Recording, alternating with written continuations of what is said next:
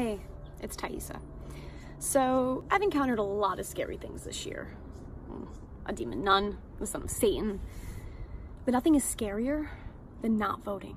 There are so many important issues on the line right now from women's liberties, voter rights, keeping families together, healthcare.